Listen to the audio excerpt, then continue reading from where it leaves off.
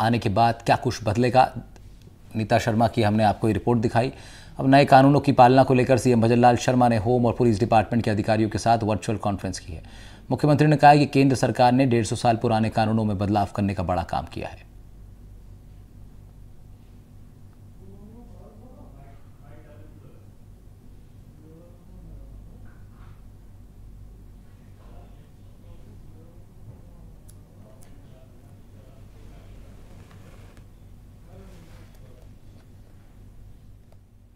गुलामी की मानसिकता और गुलामी के प्रतीक चिन्हों को समाप्त कर नए आत्मविश्वास से भरे नए भारत की स्थापना करनी है।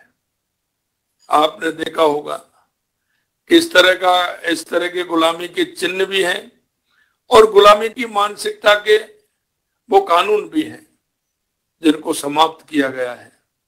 यशस्वी प्रधानमंत्री जी ने जो कहा, वो करके दिखाया इसलिए मैं उनको बहुत बहुत शुभकामनाएँ देता हूँ, बधाई देता हूँ।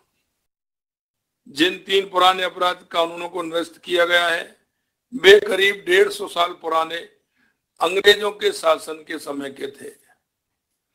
उनके शासन के समय के जो कानून थे,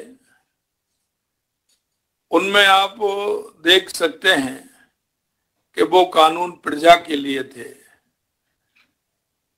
प्रजा के प्रति उनका कैसी स्थिति थी, ये आप उनकी भाषा और संज्ञान से भी अनुभव कर सकते हैं।